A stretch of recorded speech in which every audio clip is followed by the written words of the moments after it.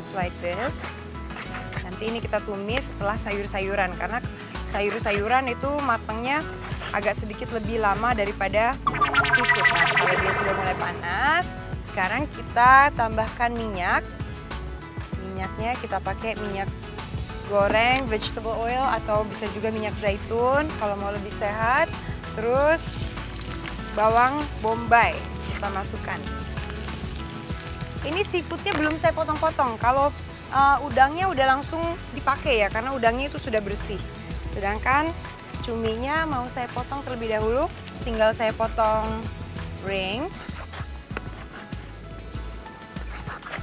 Just like this. Nanti ini kita tumis setelah sayur-sayuran karena sayur-sayuran itu matangnya agak sedikit lebih lama daripada seafood. Tuh, kalau udah dipotong-potong, ini kita singkirkan dulu. Sekarang saya mau tambahkan yang bawang putih. Bawang putih sama sayur-sayuran. Ya, kita masukkan like this.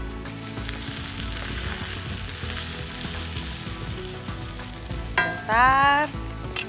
Baru cuminya juga kita masukkan ya.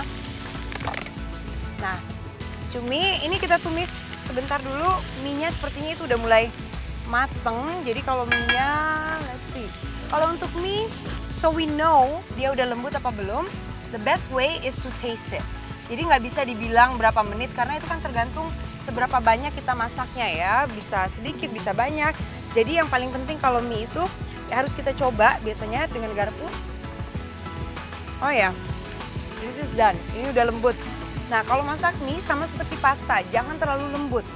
Jadi kita masak sampai dia sedikit masih agak keras karena apalagi nanti kan mau kita tumis ya. Tumis atau dikasih kuah. Ini mau saya angkat tapi berhubung ini udah hampir siap. Saya tunggu sebentar, apinya udah dimatikan. Api untuk minyak. Kita masukkan udang. Just like this. Nah ini kita bumbui. Bumbui sama lada. Cukupnya. Garam. Secukupnya. Dan saus tiram. Saus tiramnya satu sendok makan aja. Kita aduk-aduk. Just like this. Baru minyak kita tambahkan. Minyak langsung saja saya angkat dari sini so it's still nice and fresh. Masuk. Yeay, memang the best way kalau masak mie itu tunggu sampai last minute ya. Kalau dia udah mulai mateng, baru mie-nya kita masukkan.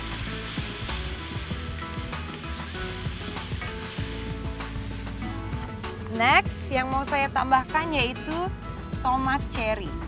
Tomat cherry-nya cukup saya bagi dua. So I'm just gonna cut it like this. Ini tinggal kita bagi dua seperti ini. Ini tomat cherry juga biar dia ada rasa kayak freshnya dan tomat cherry kan biasanya ada asam dan ada manisnya. So it's great for this. Ya, ini sudah matang. Tinggal kita angkat. So we just serve it. I think they're gonna like this. Dan ini juga resep yang bisa dengan mudah mereka contoh ya, karena super simple. Tinggal kita sajikan di piring. Seperti ini.